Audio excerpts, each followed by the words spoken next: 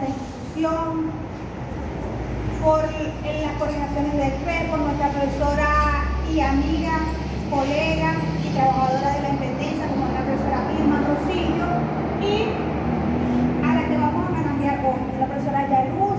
He escuchado muy buenas cosas de ella y eso quiere decir que ha enaltecido lo que es ser un docente, que tiene la vocación, que cuando decidió ser profesora lo hizo de corazón. Y a nuestro intendente, que hoy estamos marcando pauta, estamos haciendo historia. Y como dije cuando inicié esta, este reto de ser intendente, las intendencias van a las capotes, las intendencias van a la calle. Y hoy nos tocó visitar nuestras casas, que es la escuela.